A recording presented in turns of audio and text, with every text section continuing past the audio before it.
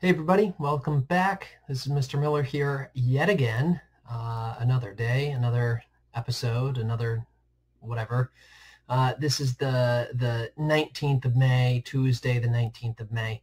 Uh, we are finishing up, or I guess today we're starting uh, topic 19 through 20.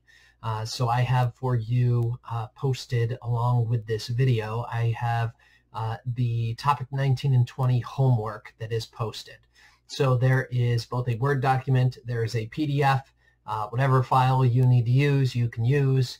Um, yes, uh, create a copy of the Word document um, a lot of times, or download it. A lot of times people like request the information or request to edit.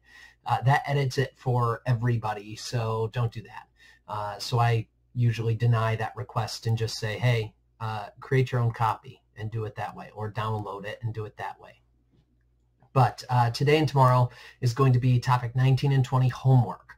So we are entering into the final topic of the school year, uh, finishing up strong with 1980 to the present. So uh, you can go ahead and start working on that. We will work on that today and tomorrow. Um, I think that's all I got for you to say. So, or I got to say for you. So I guess uh, I will be back here again tomorrow explaining uh, that you need to continue on working and finish that up, uh, topic 19 through 20 homework. But if you finish it today, that's fine. Do it. Uh, that's perfectly fine with me.